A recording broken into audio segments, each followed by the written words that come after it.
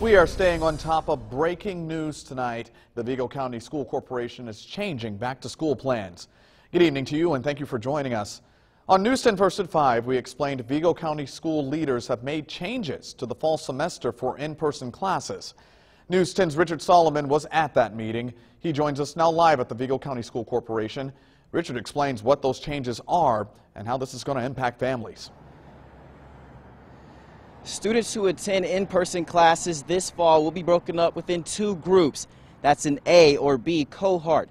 And they'll have to go to actual school inside the buildings every other single day. Now, here's a closer look at that model and how things will work. Students with the last names that start with A through K will be placed in the A cohort, and those with last names ending in L through Z and B. Now, these groups will alternate every other day. Students will do remote learning on their day away from school. School leaders say deep cleaning will be done after every single school day. They understand this may be a challenge for some parents, but leaders say this is the best option to make sure students are safe and continue to get their education. We need to reduce the number of students in our building at one time to allow for smaller classes and more distance. I, like you, worry how long we can remain face to face.